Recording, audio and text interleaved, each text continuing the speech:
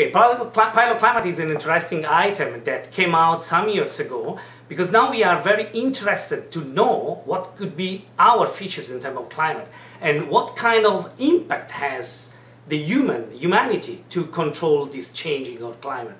So what we have done is to try to go back in the story of the Earth to try to understand which has been the climate in the past and now we are able to go back to two millions of years ago to have an idea how the Earth changed in terms of climate in the last time.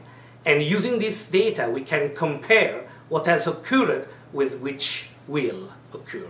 Now we, now we are interested in to know what is the future, of course. But to do this, we have to be sure that we know exactly what has occurred in the past. To do this, I mean, I'm a geologist, so to do this, I know that in the rocks is preserved the record of the ancient climate.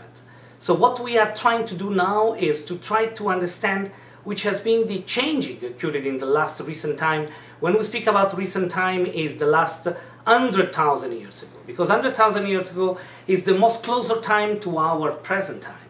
And what we are trying to do now is using rocks, using sediments, using, for instance, speleothems, so concretions growing in the caves, to try to understand which has been the variations and what kind of trigger has uh, done this changing.